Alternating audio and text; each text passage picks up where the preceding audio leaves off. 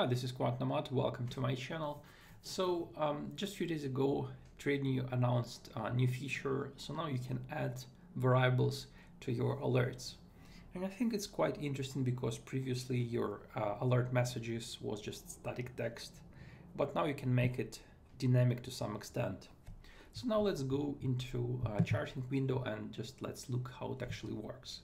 So I created small uh, indicator, it's very simple uh, example. So this is basically Bollinger Bands with some additional arrows when price kind of breaks a Bollinger Band channel, but that's it.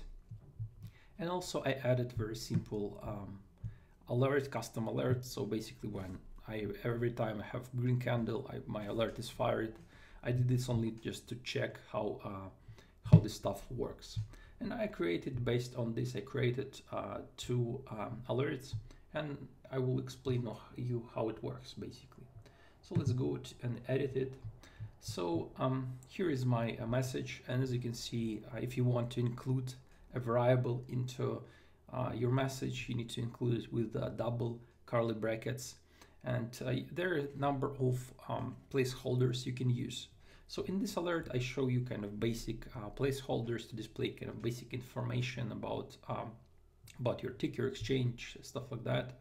So um, also uh, placeholder time uh, stands for opening time for current current uh, bar. Uh, time now will show you exact time alert was fired. Also, you can get open, high, low, close prices in the moment of alert firing and also you can get volume for current bar as well. So um, if we look at uh, this, uh, how this stuff works, you can see that, well, it's, it's quite good. We have all the information we need here. So it's, it, it works pretty good. Now let's go to the second, um, second uh, alert.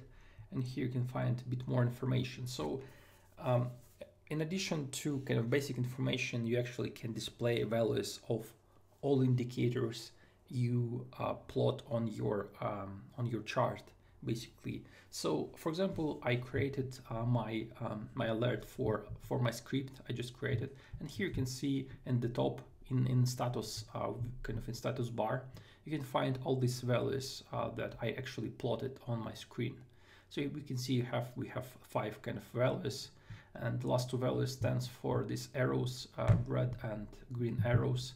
And when I hover over the bar of, of this arrow, you can see that there is zero and one as well.